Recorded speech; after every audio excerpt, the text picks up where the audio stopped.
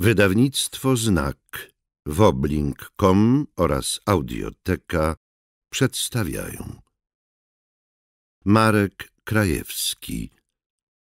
Moloch. Czyta Krzysztof Gosztyła.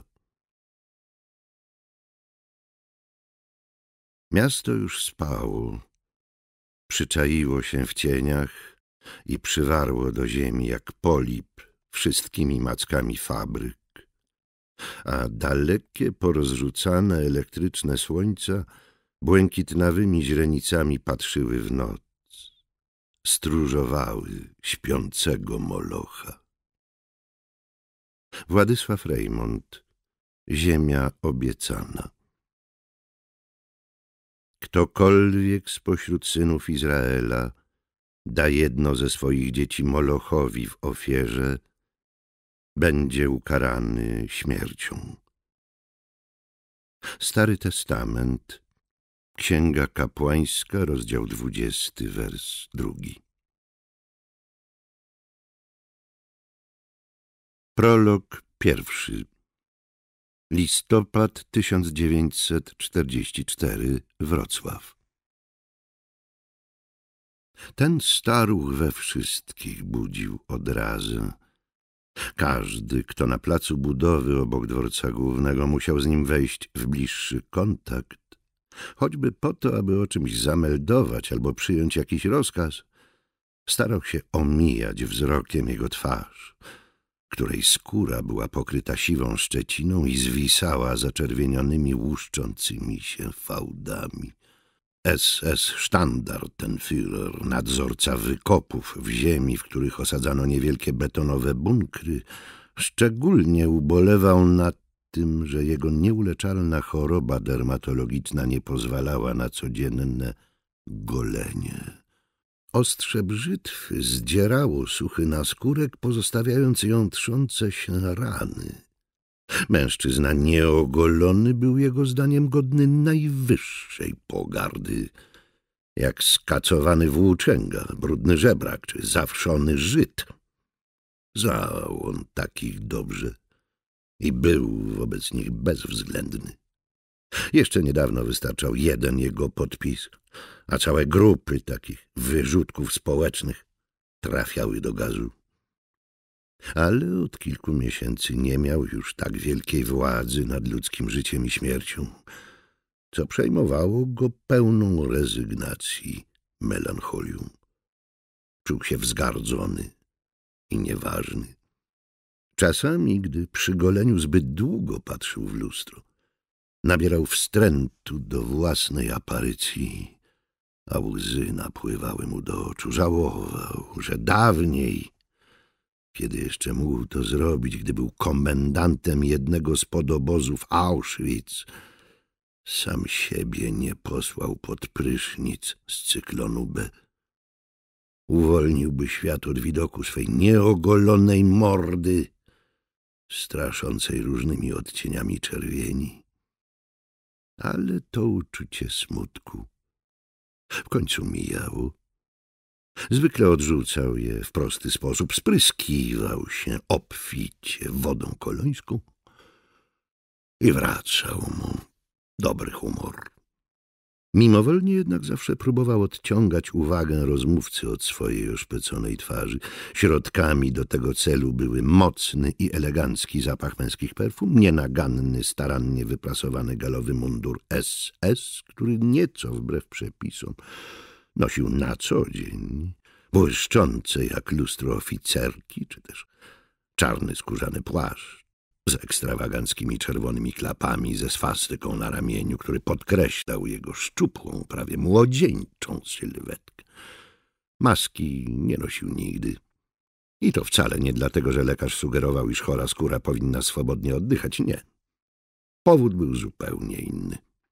Według SS-mana maska jako symbol karnawału oznaczała szał, rozpasania i dekadencję. O tak, widział on takie maski, kilkakrotnie złote, błyszczące, posypane brokatem. Spotkał je w dzikich i przeżartych moralną zgnilizną latach dwudziestych, na balach, gdzie podstarzałe kokoty ukrywały za nimi swe zmarszczki. Tak, tak, pamiętał je te niegodne, trawione rządzą staruchy, które prężyły swe wyschłe piersi i umizgiwały się do żigolaków. A w tym czasie ich mężowie, spocone, dyszące alkoholem grubasy, wymykały się inkognito do dyskretnych gabinetów, gdzie czekały na nich wystraszone, półpijane podlotki, zarabiające na życie swymi drobnymi ciałami. Przywołując w wyobraźni dźwięki murzyńskiego tańca Shimi, przypominając sobie te ekscesy, którym kres położyli dopiero surowi moraliści, pretorianie, zbawcy ojczyzny Adolfa, SS Standartenführer wolał mimo wszystko szokować rozmówców swoją twarzą z odłażącymi płatami skóry, niż zasłaniać oblicze, stając się eoipso podobnym do tamtych kreatur. Nikt na tej budowie, kto się z nim stykał, a byli tu robotnicy przymusowi, pracownicy kuchni oraz wartownicy składający się w połowie z kalekich weteranów, a w połowie z nieopierzonych młodziaków z Volksturmu, nie mógł już wyrzucić z pamięci tej charakterystycznej twarzy. Dziewiętnastoletni Werner Szklosz również zapamiętał ją na całe życie. Ten Ślązak, wywodzący się z patriotycznej rodziny powstańczej Starnowskich Gór, wylądował w Auschwitz w połowie roku 1944, kiedy to odmówił podpisania Volkslisty. Miał jednak szczęście. Nie trafił do samego obozu śmierci, lecz do oddalonego o 60 kilometrów pod obozu, gdzie młodzi, silni robotnicy byli na wagę złota. I tam już pierwszego dnia zetknął się z upiorem, jak powszechnie nazywano komendanta obozu, a jednocześnie dyrektora miejscowych kamieniołomów. Szklarz był tam niewolnikiem przez trzy miesiące. W październiku 1944 roku liczni, zdatni do pracy więźniowie zostali ewakuowani z samego Auschwitz oraz z jego podobozów i wywiezieni do zakładów przemysłowych w głębi Rzeszy. Szklosz trafił do Wrocławia i został zakwaterowany w zapluskwionych i kiepsko ogrzewanych barakach przy nasypie kolejowym, pod który od strony północnej wchodziła ulica Teichstrasse, by pobiec na południe już pod nazwą Borauerstrasse. Jego towarzyszami niedoli byli jeńcy wojenni albo dezerterzy z cudzoziemskich formacji pomocniczych, Włosi, Ukraińcy, Francuzi, a nawet Turcy – Wszyscy oni robili wykopy, do których wstawiano małe bunkry z otworami strzelniczymi, odlewane z betonu w zakładach FAMO czy Fahrzeug Motorwerke przy Grundstrasse i przywożone tu specjalnymi platformami na gąsienicach. Szklosz okolice wrocławskiego dworca znał bardzo dobrze. Trzydzieści kilometrów od śląskiej metropolii w małej wsi Osolin Mieszkała jego babka ze strony matki, dwukrotnie odwiedzał ją przed wojną, zawsze letnią porą. Wycieczki do Wrocławia, na które się przy tej okazji udawał wraz ze swym kuzynostwem, były niezapomnianym przeżyciem. Podobnie zresztą jak wrażenia z wędrówek po urokliwych i cienistych pagórkach, zwanych nieco na wyrost górami kocimi, wśród których leżało rodzinne gniazdo jego matki. Babkę swoją, Gertrudę, Osobę łagodną i wyrozumiałą bardzo kochał i godzinami wysłuchiwał jej opowieści rodzinnych, wygłaszanych w śląskim dialekcie polszczyzny, którym już mało kto mówił na Dolnym Śląsku. Na początku listopada Werner Szklosz otrzymał list od swojego kuzyna Wilhelma Przywary, który jako jedyny nie zerwał stosunków z tym Polokiem, jak pogardliwie nazywała Tarnogórzanina cała reszta podwrocławskiej rodziny. Wpisanym na kolanie świstku kuzyn Willi donosił ze smutkiem, że ich wspólna babka, osiemdziesięcioletnia Gertruda Przywara, umarła otoczona przez rodzinę i że jej pogrzeb odbędzie się 15 listopada. Wiadomość ta trafiła do młodego Ślązaka kilka dni przed tym terminem. Było to możliwe tylko dlatego, że Willi, folkszturmista i weteran z amputowaną ręką odmrożoną na froncie wschodnim, przyniósł list wprost do wartowni, która strzegła wejścia na teren budowy bunkrów. Ponadto wartownicy następnego dnia pozwolili mu nawet o dziwo zamienić kilka słów z więźniem i bynajmniej nie zrzymali się, kiedy kuzyni rozmawiali w języku zwanym tutaj lekceważąco Wasserpolnisch. O przepustkach, na jakiekolwiek uroczystości rodzinne, więźniowie mogli jedynie pomarzyć. Szklosz doskonale wiedział, że jeśli znajdzie się poza kolczastymi drutami obozu pracy, to jedynie w trumnie. Postanowił zatem swe ostatnie pożegnanie ograniczyć do modlitwy za duszę zmarłej. I właśnie wtedy, kiedy mamrotał requiem eternam dona ei domine, przyszedł mu do głowy desperacki pomysł. Postanowił pójść z prośbą o przepustkę do samego upiora. SS Standartenführer nie dał poznać nawet mrugnięciem napuchniętych powiek, że poznaje młodego robotnika, ale szklarz wiedział, jak mu przypomnieć o swoim istnieniu i o pewnych minionych zdarzeniach, które, o ile w ogóle było to możliwe, mogły nastawić kierownika do petenta nieco przychylniej niż do rojących się wszędzie wszy i pluskiew. Była tylko jedna droga, którą mógł się dostać do niewielkiego, lecz świetnie wyposażonego baraku mieszkalnego, będącego kwaterą i biurem kierownika budowy, wydeptana ścieżka prowadząca od kuchni obozowej do dwóch wielkich, wydrążonych w ziemi wykopów. Tę dróżkę wydeptali kucharze obozowi, ponieważ wieczorami po całym dniu pracy wysypywali do wykopanych w ziemi dziur pod bunkry odpady kuchenne, głównie obierki po ziemniakach. Gdyby zboczyć nieco ze ścieżki i przejść pod dość wiotką drucianą siatką, można było się dostać do kwatery kierownika budowy naturalnie, z zachowaniem wszelkich środków ostrożności, wypatrując wartowników i pod osłoną ciemności. Szklosz, który był ulubieńcem jednego z kucharzy, łatwo wystarał się o jednodniowe oddelegowanie do kuchni. Tego ponurego listopadowego dnia po kolacji kiedy wynędzniali i wciąż głodni więźniowie już wylizali z menażek resztki wodnistej zupy, tymczasowy kuchcik udał się do śmietnika z dwoma wiadrami pełnymi ziemniaczanych resztek i kaszy, tak zgniłej i śmierdzącej, że nie chciały jej ruszyć nawet obozowe psy.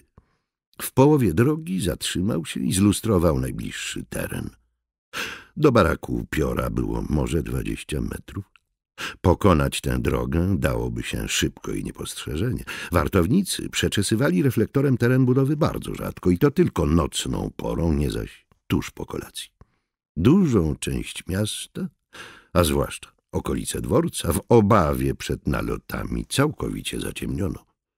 Gdyby nie wątły poblask, ledwie padający właśnie z okna docelowego baraku, Werner nie trafiłby palcem do nosa. Zostawił wiadra na ścieżce i podbiegł do siatki. Była rzeczywiście wiotka. Uniósł ją lekko i przeczołgał się po mokrej, brudnej ziemi pokrytej grubym dywanem liści nawiewanych z drzew pobliskiego przydworcowego parku. Taje siatka. W ustach czuł smak cementu, kiedy zbliżył się do baraku kierownika i mocno zapukał. Wewnątrz ktoś się poruszył, Rozległ się stukot butów i skrzypienie desek podłogi. Zgodnie z rozkazami światło całkiem zgasło i spoza drzwi doszedł donośny głos. — Wejść! Szklosz otworzył drzwi i przekroczył próg. — Herr Standantenführer, tu więzień Szklosz! — zawołał młodzieniec. — Przychodzę z podaniem o przepustkę. Prośba, którą zaprezentował, była absurdalna. Więzień był tutaj na dnie hierarchii, poniżej obozowych psów. Jeśli już o coś mógł prosić, to tylko o otwrzenie poza kolejnością albo o felczera, ale to ostatnie było już bardzo niemile widziane. Pozycja społeczna gościa zestawiona z powodem, który go tu przygnał, ze złamaniem wszystkich możliwych procedur, tworzyła mimo wszystko sytuację komiczną. SS-man przez chwilę milczał, a potem wybuchnął potężnym śmiechem. No właśnie, laser Polaka! Wykrztusił w końcu i podkręcił płomień lampy naftowej. Tylko z daleka, abym się od twojego smrodu nie udusił, no właśnie. Bo zimno i muchy lecą. Zaśmiał się z własnego dowcipu i urwał nieoczekiwanie w momencie, gdy natężenie dźwięku zdawało się osiągać swój punkt kulminacyjny. Szklosz uznał, że został rozpoznany, sądząc po pogardliwym określeniu, jakim Niemcy obdarzali polskich Ślązaków. Mówił po niemiecku bez śladu akcentu, a zatem staruch musiał sobie przypomnieć jego charakterystyczne nazwisko, którego zresztą z niewiadomych przyczyn zawsze śmieszyło. Tak było i teraz. Wąskie szparki oczu SS-mana błysnęły rozbawieniem i niechęcią. W świetle lampy naftowej, pokrytą liszajami skórę twarzy, przecinały pionowe bruzdy, jakby osobliwe zakładki, które zachodzą na siebie wzajemnie. Szklosz oderwał wzrok od oblicza upiora. Nie mógł się też powstrzymać, by nie rozejrzeć się po wnętrzu. Przedmioty codziennego użytku były starannie poukładane. Na biurku leżały zwinięte kalki i rysunki techniczne. Obok nich, w specjalnych bakelitowych uchwytach, stały obsadki ze stalówkami i rysikami. Mały płotek ograniczał obszar, gdzie ustawiono pękate buteleczki tuszu i atramentu ze starannie naklejonymi kartonikami. Na nich znajdowały się maźnięcia, które wskazywały, jakiego koloru płyn wypełnia daną buteleczkę. Mimo wątłego światła, Szklosz zauważył, że pojemniki zostały uporządkowane wedle barwy płynu od najciemniejszego tuszu do najjaśniejszego atramentu. No, Ponaglił go upiór. jaka przepustka? Gdzieś się mianowicie szanowny pan wybiera? Do opery? Czy na koncert? Na pogrzeb, panie komendancie, odparł młodzieniec. Umarła moja ukochana babka pod Wrocławiem. Proszę o przepustkę na jej pogrzeb 15 listopada. Jako gimnazjalista tuż przed maturą mam już zdolność honorową i daję słowo honoru, że wrócę do obozu tegoż 15 listopada, najpóźniej do północy. SS Standartenführer aż westchnął. Optymista usłyszałby w tym westchnieniu wesołość, pesymista groźbę. Szklosz był prostodusznym optymistą. Sądził, że naturalność i proste wypowiedzi, bez kłamstw i wykrętów, więcej mogą zdziałać niż misterne intrygi. Czekając na reakcję gospodarza, wciągał zapach cygar oraz otwartej puszki z mielonym mięsem. Tylko ona nie pasowała do idealnego porządku panującego w domku. Miała ostre, poszarpane brzegi, z pomiędzy których wylewały się bryły mielonki, gęsto poprzetykane białymi pasmami tłuszczu. SS Standartenführer wstał. Jego oblicze wykrzywił grymas, który znów można było interpretować dwojako uśmiech lub narastający gniew. Szklosz był optymistą, ale na wszelki wypadek nie patrzył komendantowi w oczy nie ze strachu. Nie chciał, by uznano go za zuchwalca, który nie spuszcza wzroku z rozmówcy. — Ty polska kanalio! wysyczał kierownik budowy. Ty słowiański pomiocie, ty! Masz czelność tu przychodzić do mnie! Do wysokiego oficera przez samego Führera odznaczonego? Masz czelność mnie niepokoić, kiedy słucham Beethovena! Dopiero teraz Szklarz zobaczył płytę kręcącą się z lekkim trzaskiem na patefonie. Przecież właśnie jej pan komendant wysłuchał powiedział prostodusznie. Już się skończyła i pan komendant jej nie słucha. Upiór zbliżył swą twarz do twarzy petenta. Ten miał wzrok wbity w czarny wąski krawat, w którym tkwiła odznaka NSDAP. Jego optymizm już się ulatniał. Won! ryknął Niemiec. Won, bo ni całkiem apartament zasmrodzisz! Ślązak uniósł wzrok. Teraz patrzył odważnie i bez odrazy, choć łuszcząca się skóra była od jego oczu nie dalej niż kilka centymetrów. Haim Lubartow, powiedział powoli. Pamięta pan, jak był u nas w kamieniołomach ten żydowski księgowy, osobisty księgowy samego komendanta Auschwitz? Pamięta pan, prawda? Rozmawiał z panem, gestykulował. Tylko ja to widziałem. Spałem w kryjówce nieopodal, odsypiałem straszliwy znój. Usłyszałem waszą kłótnię i widziałem wszystko, jak go pan zrzucił na sam dół wyrobiska. Własnoręcznie. Następnego dnia zawitał u nas sam komendant główny, sam Sturmbannführer Richard Baer. Był bardzo zły, że Lubartow nie żyje. Wściekał się, wrzeszczał. Kto mi teraz wszystko policzy, gdy musimy opuszczać ten kraj? Jak to się stało? Jak to możliwe, że on sam spadł? Był zawsze taki ostrożny. Kto go strącił? I pytał się nawet więźniów. Słyszałem to.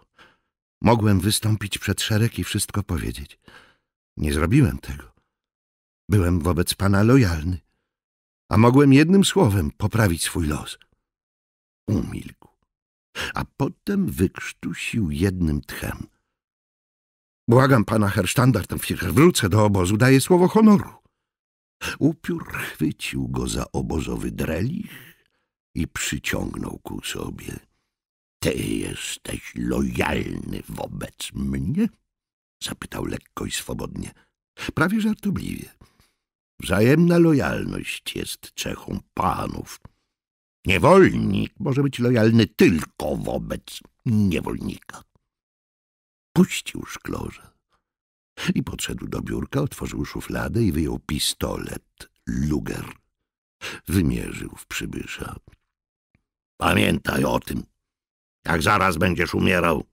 Arystoteles pisał, że niewolnik nie posiada rozumu, jest tylko zwierzęciem w ludzkim ciele. Nacisnął spust.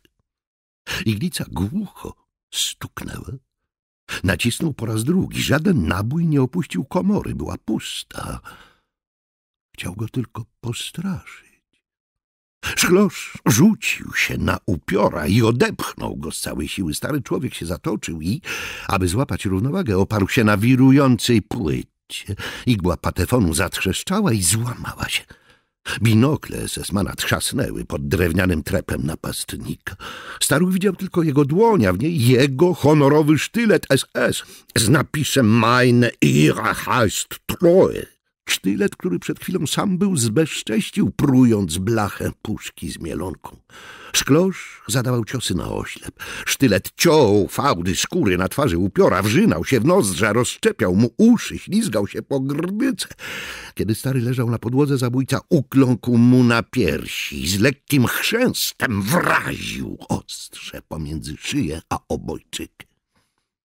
Przez chwilę ciężko oddychał i czekał aż ustaną agonalne drgawki. Potem wytarł swe zakrwawione dłonie o nieskazitelnie czystą koszulę trupa i usiadł przy biurku brudnymi pazurami, wydzierał mielonkę z puszki, odrywał ją od ścianek, łykał całe grudy mięsa, nawet nie gryząc. Rozcierał językiem po podniebieniu, wsysał jego soki. Potem westchnął, zgasił lampę i zapalił papierosa, którego znalazł w szufladzie. Godzinę później teren obozu opuścił wysoki, szczupły mężczyzna w cywilnym płaszczu komendanta i w jego meloniku. Wartownicy rozpoznali strój i sylwetkę, nie zaglądali mu w twarz. Ta fizys zawsze budziła w nich odrazy. Dziesięć godzin później, równo o szóstej rano, na terenie budowy pojawił się pojazd gąsienicowy z dźwigiem zdolnym unieść ładunek dwudziestotonowy. Na jego platformie spoczywał odlany z betonu mały bunkier z otworami strzelniczymi. Został on uniesiony przez potężne ramię dźwigu. Jego operator naprowadzał swój ładunek do dziury w ziemi o głębokości metra. Stojący nad jego krawędzią brygadzista pokazywał na mini miejsce, z którego będzie mógł opuścić bunkier i osadzić go w wykopie w porannym półmroku. Nikt nie zauważył ciała w galowym mundurze SS przykrytego warstwą liści i kuchennych śmieci. Nikt nie usłyszał, jak pod piętnastotonowym betonowym kolosem trzaskają stare kości. Oblicze SS Standartenführera nie wzbudziło już na tym świecie niczyjej odrazy. Prolog drugi 1952 Przestrzeń powietrzna nad Niemcami Zachodnimi Eberhard Mock nie był dobrze nastawiony do lotniczych podróży, zwłaszcza transatlantyckich. Niechęć do nich miała u tego przedwojennego szefa policji kryminalnej we Wrocławiu charakter irracjonalny. Był to po prostu głęboko zakorzeniony zwierzęcy strach przed zimnem, mrokiem i widoczną głębią. Nie można go było wyjaśnić jakimikolwiek innymi przyczynami, na przykład nieprzyjemnymi wspomnieniami lotniczymi, bo takowych Mok nie miał, ani miłych, ani niemiłych. Natomiast głębia niewidoczna, ukryta pod falującą powierzchnią oceanu, nie przerażała go. Już zresztą raz pokonywał tę trasę, lecz drogą morską. Nie była ona najwspanialszą przygodą z powodu sztormu, który wtedy szarpał potężnym transatlantykiem oraz świadomości, że oto po raz pierwszy w życiu i to w wieku sześćdziesięciu siedmiu lat zrywa z całą swoją dotychczasową egzystencją i wykonuje, jak to pisał jego ulubiony filozof Thomas Hobbes, wielki skok w ciemność. Tamta podróż statkiem odbyła się w czerwcu 1950 roku, a on emigrował do Stanów Zjednoczonych, pozostawiwszy w Europie swe dwa ostatnie wcielenia. Oba napawały go wstrętem, ale zdawał sobie sprawę, że gdyby przez ostatnich trzynaście lat nie był funkcjonariuszem kolejno Abwehry oraz wschodnio-niemieckiej państwowej służby bezpieczeństwa znanej jako Stasi, Nigdy by się nim nie zainteresowała amerykańska Centralna Agencja Wywiadowcza, która uratowała go przed stalinowskimi siepaczami i dała mu w Nowym Jorku nowy, skromny żywot referenta i doradcy do spraw służb specjalnych Niemiec Wschodnich. Wywiad amerykański dwukrotnie się z nim kontaktował po tym, jak w styczniu 1950 Sowieci w swej strefie okupacyjnej w Niemczech ustanowili tajną policję polityczną. Do kierowania nią rwali się już od dawna dwaj pretendenci Wilhelm Zeisser i Erich Milke. Ten pierwszy, jeszcze jako szef powojennej policji w Halle, zapraszał w swe szeregi wszystkich. I hitlerowców, i stalinowców, i doświadczonych przedwojennych policjantów, takich jak Mok. Pod skrzydła Cajsera trafiali w dużej mierze odrażający osobnicy. Dawni agenci NKWD szlify bestialstwa zdobywające jeszcze w czasie wojny domowej w Hiszpanii, komuniści, którzy na żadnej z wojen prochu nie wąchali, a ich zasługą były jedynie śmiercionośne donosy oraz sianie sowieckiej propagandy w języku Goethego, gestapowcy, którzy przedstawili wzbudzające pusty śmiech certyfikaty swej antyfaszystowskiej działalności, a nawet sadyści ze służby wartowniczej obozów koncentracyjnych. Wśród tych łajdaków, przenikliwych, nieufnych i zwierzęco okrutnych, znalazł się i Eberhard Mock, którego ktoś polecił Cajserowi. Został on zaprotegowany jako człowiek, który potrafi zmuszać do współpracy, tworzyć siatki kapusiów i bezwzględnie ścigać zbrodniarzy, obojętnie pod jaką flagą. Kaiser, marząc o szefostwie policji politycznej Niemiec Wschodnich, uznał, że warto by było utworzyć w niej jakiś pion kryminalny dla tropicieli zwykłych przestępców. Poczytał trochę o moku i uznał, że może być on całkiem przydatny jako ślepy pies sprawiedliwości. Sam zainteresowany nie zaprzeczał tej diagnozie, Udawał pryncypialnego głupka, brutalnego i nieprzejednanego kata dla złoczyńców. Cajsera utwierdzało to w przekonaniu, że trafnie ocenił tego starego, bardzo energicznego gliniarza z maską na twarzy zakrywającą niedawne blizny. Po kilku rozmowach był pewien, że wystarczy mu podszepnąć, iż ten czy tamten sługa imperializmu jest mordercą lub gwałcicielem dzieci, a pułkownik Mok osaczy go swoimi agentami i rzuci mu się do gardła, będąc pewnym, że prowadzi w ten sposób swoją krucjatę oczyszczania świata z kreatur. Aparatczyk wpadł jednak w pułapkę, którą Mok na niego zastawił, udając tępego brutala. Owszem, przyszłego szefa sztazji nurtowały wątpliwości i sam sobie zadawał pytanie, jak to możliwe, że ten pijak i prostak zdołał tak wysoko awansować w Abwerze? Odpowiedzi na nie udzielił mu szef Urzędu Bezpieczeństwa w polskim Wrocławiu, pułkownik Placyt Brzozowski, który dysponował sporą dokumentacją dawnych niemieckich służb porządkowych. Wynikało z niej, że dyrektor kryminalny Eberhard Mock, prawdziwa legenda przedwojennego Wrocławia, odszedł do Abwery na znak protestu przeciwko przejmowaniu przez gestapo zadań kryminalnych i przeciwko rugowaniu świetnych policjantów pochodzenia żydowskiego. Dzięki protekcji możnych wrocławskiego świata, których ponoć trzymał w garści dowodami ich różnych wybryków natury obyczajowej, dostał równorzędne stanowisko w Abwerze, a tam zasłynął z pijaństwa i z częstych konfliktów z przełożonymi.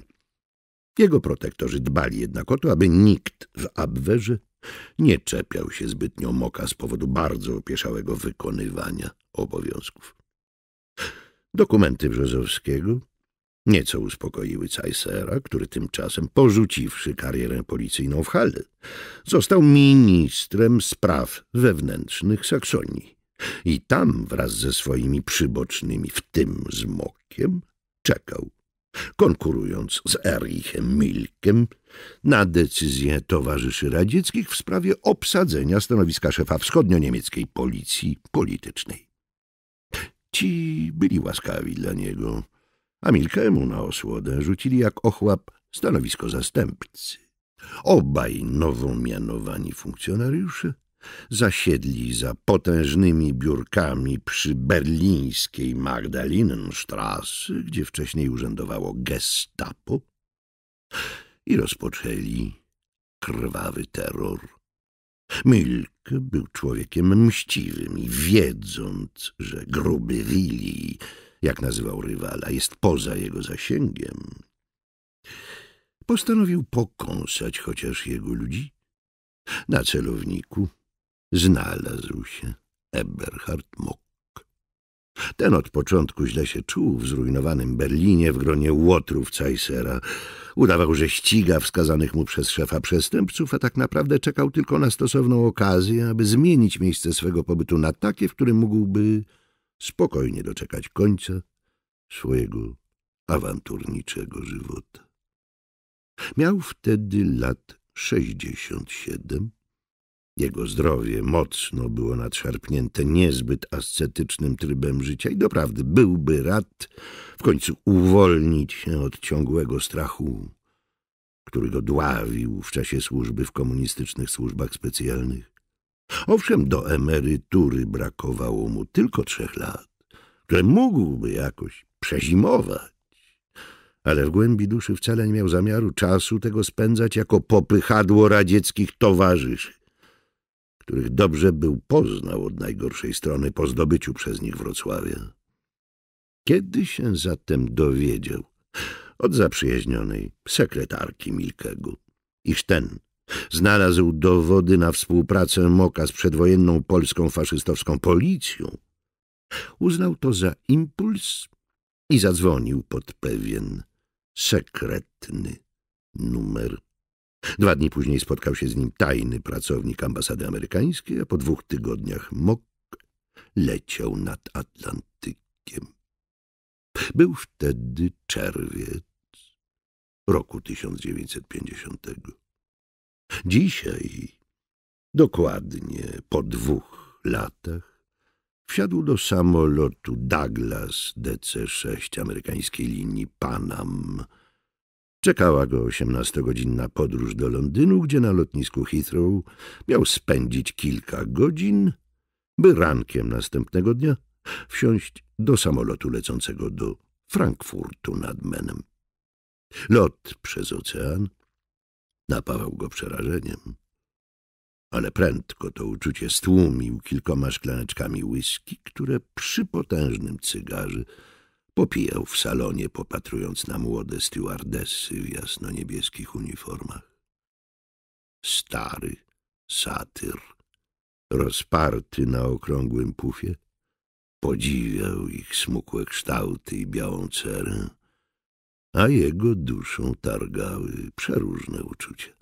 Były wśród nich i lekki żal za utraconą jurnością i łagodne znużenie erotycznego weterana i wyrozumiałość dla zapędów kilku młodych mężczyzn w strojach graczy w krykieta, którzy bezskutecznie mablowali dziewczyny, zasypując je mało śmiesznymi dowcipami, jak na angielskich dżentelmenów przystało. Tych wszystkich uczuć nikt by zresztą nie wyczytał z jego twarzy, ponieważ zasłonięta ona była czarną, aksamitną maską. Mok zapadł w zadziwiająco mocny, kilkugodzinny sen w rozkładanej pod sufitem koi w pomieszczeniu sypialnym, które dzielił z pewnym księdzem anglikańskim. Obecność duchownego skłoniła go najpierw do dowcipów w stylu dobrej nocy życzę księdzu, a że będzie dobra, to jasne, wszak jesteśmy blisko Pana Boga. A potem rozbudziła pewien moralny dylemat. Dęczył go on od kilku dni, a właściwie od momentu, kiedy w swym mikroskopijnym nowojorskim mieszkanku na Upper West Side podniósł słuchawkę dzwoniącego telefonu i wysłuchał swego rozmówcy z Frankfurtu nad Menem. Problem etyczny, który zaczął go wówczas nurtować, jak najbardziej nadawał się do tego, aby go przedstawić teraz osobie duchownej i zapytać o radę. Eberhard jednak ostatecznie porzucił ten pomysł obawiając się, że alkoholowy szum w głowie i bełkotliwa wymowa nie pozwolą mu jasno zaprezentować kwestii i to na dodatek w obcym języku. Douglas DC-6 wylądował na Heathrow z opóźnieniem po dwudziestu godzinach lotu i Mok pewnie by nie zdążył na swój samolot do Frankfurtu, gdyby nie został doń przewieziony specjalnym samochodzikiem jadącym wskroś płyty lotniska. Potężna maszyna Airspeed AS-57 Ambassador, należąca do brytyjskich linii lotniczych, wzbudziła natychmiast u Moka dobre skojarzenia. Swym pękatym brzuchem, nisko zawieszonym nad ziemią, przypominała mu jego samego, solidnego, masywnego jegomościa, na którym, jak wielu twierdziło, można zawsze polegać. Po chwili, swymi promiennymi uśmiechami, Powitały go stewardesy, tym razem w szarych kostiumach i takich furażerkach oraz kelnerzy w białych marynarkach. Jeden ze stewardów przejął jego dużą walizkę i wskazał mu miejsce przy czteroosobowym stoliku, przy którym siedział tylko jeden mężczyzna. Z wyglądu rówieśnik Moka, Zadrżała podłoga, za oknami zaczęły uciekać w tył budynki lotniska i potężny dwudziestopięciotonowiec wzniósł się majestatycznie w powietrze. Przed nosem Mokka kelner postawił tacę, na której spoczywały sztućce w foliowych torebkach oraz potężne śniadanie. Wędliny zawinięte w ruloniki, które wypełnione były kawiorowym i majonezowym musem oraz jajka w przeróżnych kombinacjach. Niektóre z nich pływały w szklaneczkach, a wystawały z nich grudki roztapiającego się masła, inne były posadzone na jasnobrązowych chrupiących grzankach, a jeszcze inne ścięte w ozdobionych pietruszką galaretkach. Do tego podano dla odświeżenia smaku krążki ananasa i trójkąty melona. Mok poprosił o kawę. Nie chcąc od rana pić alkoholu, jak jego towarzysz, który nalewał sobie szampana z małej butelki. Zjadłszy śniadanie z ogromnym apetytem, rozejrzał się po wnętrzu komfortowej pierwszej klasy samolotu, nazwanej Elizabeth na cześć nowej królowej Imperium Brytyjskiego. Siedzący wokół ludzie byli młodzi, zamożni i pełni pretensji do świata. Towarzyszyły im dzieci, które niemiłosiernie hałasowały i biegały pomiędzy dwoma rzędami siedzeń, co chwila wpadając na któregoś kelnera. Pasażerowie mówili głównie po angielsku, ale tu i ówdzie Mok usłyszał ojczysty język. To właśnie w nim zwrócił się do niego popijający szampana towarzysz podróży. Dopiero teraz Mok zauważył, że jest to ksiądz ubrany w świetnie skrojony garnitur ze znaczkiem hostii z promieniami w klapie, oznaczającym przynależność do zakonu jezuitów. — Czy mogę pana poprosić o ogień? — zapytał mężczyzna. — Gdzieś zapodziałem moją zapalniczkę. Pan pozwoli, że się przedstawię. Ojciec Dietrich Mergenthaler. Mok również się przedstawił i podał ogień swemu rozmówcy. Nie dał po sobie poznać, jak bardzo się ucieszył z tego niezwykłego zbiegu okoliczności. Oto po raz drugi w czasie swej podróży spotkał duchownego. Los mu najwyraźniej sprzyjał. Obok niego siedział kapłan, któremu mógł dręczący go dylemat moralny przedstawić precyzyjnie i to w dodatku w ojczystym języku. Po kwadransie obaj starsi panowie byli już w dobrej komity. Przyjąwszy od kelnera egzemplarze Frankfurter Allgemeine Zeitung, porzucili je gdzieś z boku, oddając się, jak się szybko okazało, wspólnej pasji, jaką były szachy. Palili na potęgę, pogryzali kruche ciasteczka i popijali je na wzór angielski herbatą z mlekiem. Mok przyjął w grze taktykę tygrysa w trawie. Wykonywał asekuracyjne ruchy, czekając na błąd przeciwnika. Ta strategia najwidoczniej odpowiadała ojcu Marentalerowi. Zaczął ostro atakować i wkrótce zdobył przewagę w centrum. Błędów przy tym nie popełniał i Mok znalazł się w sytuacji krytycznej. Szala zwycięstwa zaczęła się przechylać na stronę jezuity. Po chwili Eberhard poddał partię. A za szybko się pan poddał, drogi panie, wykrzyknął ojciec Marenthaler z lekkim uśmiechem. Jeden błąd to jeszcze nie koniec świata.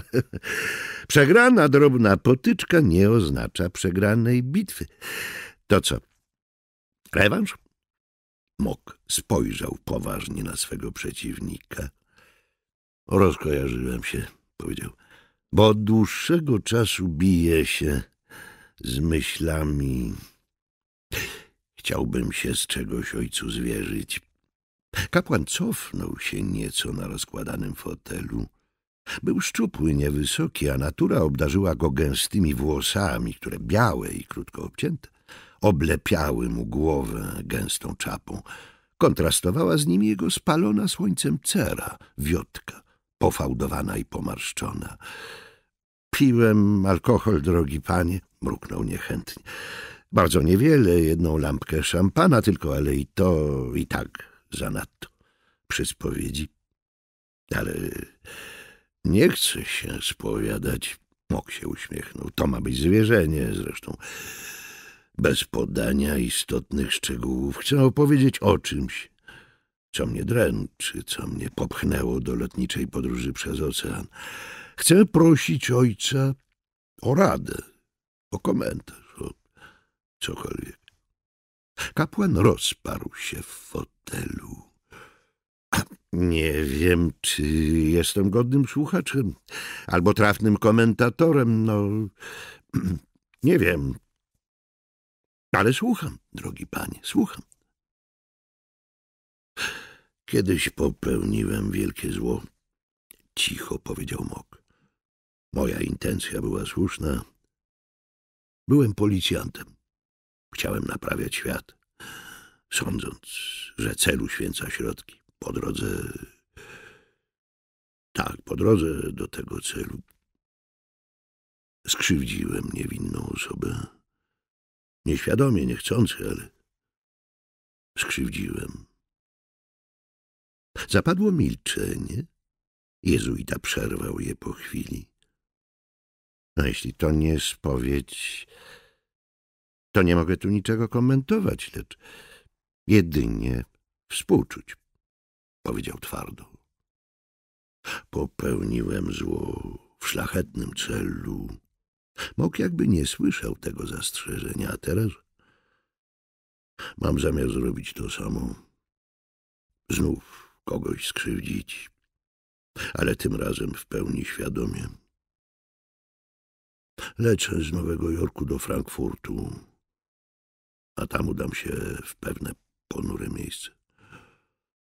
Będę przesłuchiwany jako świadek, mam zamiar skłamać. Mój głos, moje zeznanie jako świadka będzie nieprawdziwe, będzie fałszem i kłamstwem. A jednocześnie będzie jak cięcie toporem kata wymierzającego sprawiedliwość zbrodniarzowi. Czy cel ukarania zbrodniarza poprzez kłamstwo jest dobry czy zły? Takie mam pytanie. Ojciec Mergenthaler zaciągnął się papierosem. Tylko Bóg jest mm, sędzią i wykonawcą wyroków, powiedział chrapliwym basem. I tylko on nakłada kary. Pański cel nie jest dobry, bo bezprawnie uzurpuje pan sobie jego zadania. Ale przecież każdy z nas jest narzędziem w rękach Boga. Przerwał mu Mok. A zatem wszystko, co robię, to z jego woli. Nawet katem będę z woli Boga. Jezuita pomasował skronie. Był wyraźnie zmęczony tą rozmową. Lepiej wróć za ocean, rzekł spokojnie. Nie bądź niczyim narzędziem. Zwłaszcza, że nie masz pewności, czy w ogóle działasz w czyimś imieniu. Bądź człowiekiem.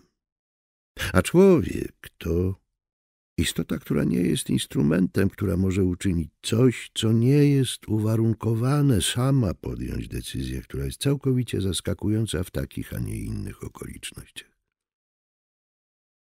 Taką decyzją byłoby twoje przebaczenie zbrodniarzowi jak Chrystus zrobił to na krzyżu. Każdy twój ruch niech będzie początkiem czegoś nowego, bez oglądania się na przeszłość. Życie to nie szachy.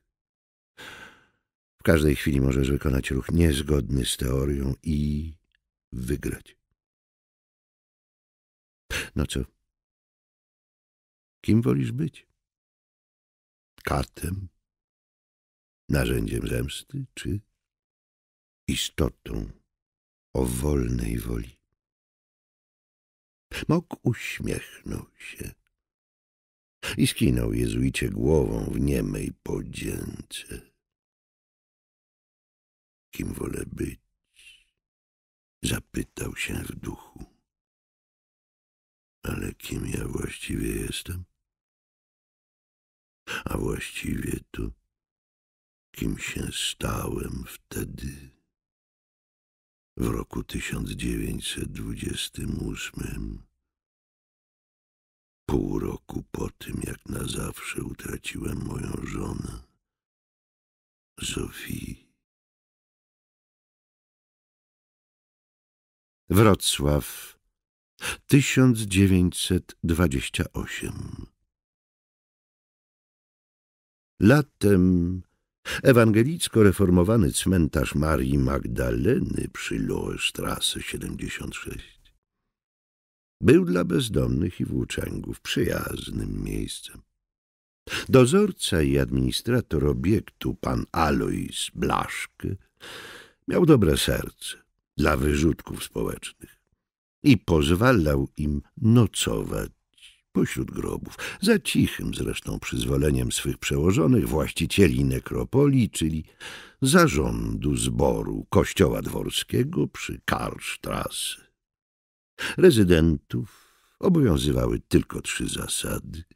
Po pierwsze, musieli wykonywać drobne prace porządkowe, po drugie, starannie zakopywać w ziemi w wyznaczonym miejscu naturalne pamiątki przemiany materii, po trzecie, w końcu, jakakolwiek kradzież na cmentarzu podlegała natychmiast zasadzie odpowiedzialności zbiorowej i groziła powszechną banicją. Stary dziwak Blaszkę, i to zarząd miał mu już za złe, przymykał niekiedy oko na łamanie tych reguł.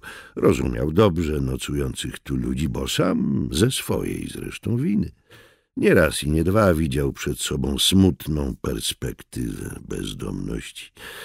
Ten niechlujny i opryskliwy starzec swoim grubiaństwem odstraszał wiernych już wcześniej, kiedy pełnił funkcję kościelnego we wspomnianej świątyni i w końcu tamtejszy proboszcz, pastor Richard Bender, przeniósł go z małego pokoiku przy zakrystii do równie niewielkiego cmentarnego domku, który był jednocześnie i mieszkaniem, i warsztatem, i magazynem narzędzi gospodarczych.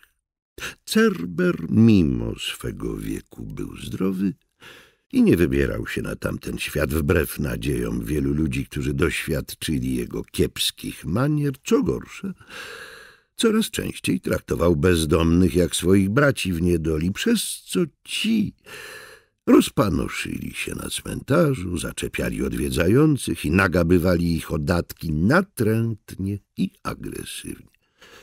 Dobrotliwy pastor Bender był zasypywany skargami na dozorcę, a zarząd zboru powoli zaczął tracić cierpliwość do niesfornego pracownika. W końcu podjęto niekorzystną dla niego decyzję dymisji. Kiedy ten dowiedział się, że jego dni jako tutejszego zarządcy są policzone, postanowił wykorzystać ostatnie chwile i zabezpieczyć się finansowo na pierwsze miesiące przyszłego bezrobocia. Jednym z jego posunięć było przyjęcie od grona ekscentryków pewnej bardzo intratnej propozycji, którą początkowo uparcie odrzucał. Zadanie było proste. Miał przez kilka wyznaczonych godzin patrolować cały cmentarz, nie dopuszczać na jego teren ani jednego włóczęgi i udawać, że nie widzi i nie słyszy tego, co jego zleceniodawcy będą tu wyczyniać. Dostał za to sumę, która na zamożnych wrocławianach pewnie nie zrobiłaby wielkiego wrażenia, lecz dla niego była to góra złota. Dwa dni przed wyznaczonym terminem ostrzegł prawie wszystkich bezdomnych, że pojutrze muszą sobie poszukać noclegu gdzie indziej. Dla jednego z nich uczynił wszakże wyjątek. Zapewnił go, że w odróżnieniu od kolegów może tu nocować, pod warunkiem, iż o tej łaskawości nikogo nie poinformuje.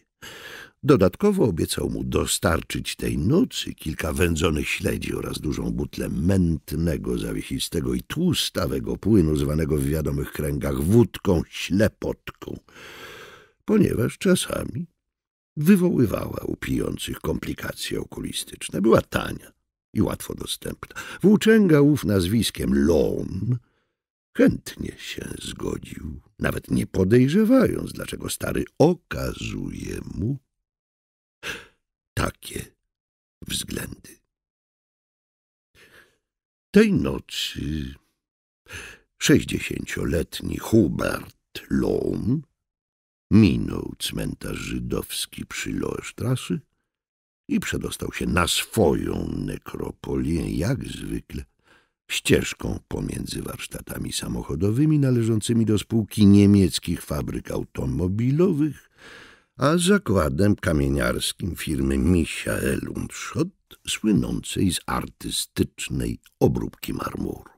Grobowiec rodziny Schönfelderów obok którego co noc rozciągał na czterech wbitych w ziemię drążkach płachtę prezentu, ukradzionego ze wspomnianych warsztatów, uważał za pałac, a siebie mianował jego stróżem. Za prawym filarem grobowca czekały na luma śledzie i litrowa butla ślepotki. Ucieszył się. I sam się napije i kolegę poczęstuje. Lum, wbrew obietnicy danej staremu, nie był tej nocy sam. Towarzyszył mu młody ulicznik nazwiskiem Rudolf Smorawy, pseudoministrant, którego poznał kilka lat temu wśród wrocławskich żebraków. Szybko przypadli sobie do gustu. Smorawy był włamywaczem specjalizującym się w okradaniu zwłok i grobów. To też wydawał się idealnym kompanem dla Loma. Ich sposób działania był następujący. Raz na jakiś czas zwłaszcza gdy został pochowany ktoś znaczny i bogaty. Późną nocą, kiedy wszyscy żywi rezydenci cmentarza Marii Magdaleny już donośnie chrapali, Lom wpuszczał Smorawego pewnym tajnym przejściem i ten uprawiał z sukcesem swoją profesję. Łupy sprzedawali zaufanemu paserowi, który wystawiał je później na sprzedaż w swym lombardzie, Zyskiem dzielili się porówno, byli zachłanni, wiedzieli, że ich dni tutaj są policzone, bo blaszk na pierwszą wieść o kradzieżach wypędzi stąd wszystkich. Tej nocy, kiedy Lomowi zezwolono jako jedynemu nocować na cmentarzu, okazja była wprost wymarzona. Niedawno pochowano pewnego zamożnego fabrykanta powozów, a zatem fanty spinki pierścienie i złote zęby. Same się prosiły o zabranie, zwłaszcza, że nekropolia zgodnie z zapewnieniami starego miała być pusta. Włamywacz mógł się zatem obawiać jedynie stróża Blaszczego i to nie za bardzo, bo ten nie robił nigdy nocnych obchodów. Lom i Smorawy doznali jednak ciężkiego zawodu. Tej ciepłej czerwcowej nocy Cmentarz Marii Magdaleny wcale nie wyglądał na pusty. Pierwszy cios, jaki otrzymał pijany lom, nie był mocny. Młot, który spadł na niego z góry, trafił w brezent, przez co uderzenie zostało zamortyzowane. Włóczęga usłyszał trzask materiału, a potem jego ramieniem szarpnął potężny ból, jakby jakiś duży kamień upadł mu na rękę. Jęknął, otworzył oczy i na tle rozgwieżdżonego nieba zobaczył kilka twarzy i kilka par ramion. Usłyszał szelest służącego mu za sufit prezentu, który ktoś zdarł z palików i odrzucił w pobliskie krzaki. Jakiś ciężar go przygniótł, czyjeś kościste kolana wcisnęły w ziemię jego ramiona, kto inny tymczasem wsuwał mu pod głowę drewniany pieniek lub ociosany kloc, z którego kilka drzask wbiło mu się boleśnie w kark. Smorawy usłyszał jakiś hałas, jakby zduszony okrzyk, gdy zbliżał się do grobowca oddalonego o jakieś trzydzieści kroków od namiotu przyjaciela. Włamywacz poczuł w przeponie ostrzegawcze ukłucie. Oto odzywał się wewnętrzny alarm, niezawodny i udoskonalony przez lata spędzone na ulicy. Na krzaki rosnące nieopodal coś spadło, jakby sztywna płachta. Smorowe przycupnął.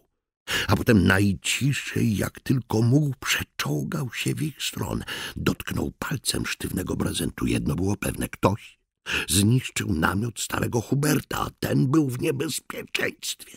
Włamywacz już chciał mu się rzucić na pomoc i pobiec w jego kierunku pomiędzy grobami, gdy usłyszał kilka głosów. Nec Herkules contra plures i Herkules dupa, kiedy ludzi kupa, mawiał pewien jego znajomy żebrak, ekskomunikowany ksiądz katolicki, którego alkoholowy nauk wepchnął do rynsztoka. Smorawe skulił się i podpełzł jeszcze kilka kroków schował się za jedną ze stojących płyt grobowych przedstawiających greckiego hoplita. A najpewniej leżał tu jakiś wojskowy. Wystawił z za niej czubek głowy. Widział wszystko w mocnym blasku lampy naftowej, którą jeden z napastników oświetlał leżące ciało. Trzymać mu łeb! Rozległ się okrzyk. Tylko trafiaj dobrze! Nie walnij mnie po łapach! Wrzasnął Obdartus, który siedział okrakiem na brzuchu Loma i trzymał w dłoniach jego twarz. Smorawę widział jakąś szmatę, która wystawała z ust przyjaciela. Jego oczy były szeroko otwarte, w niemym przerażeniu. Wielki młot zatoczył łuk nad jego głową. Rozległ się dźwięk podobny do tego, jaki wydaje siekiera, trafiająca w puste w środku drzewo. To masz cela, chłopie!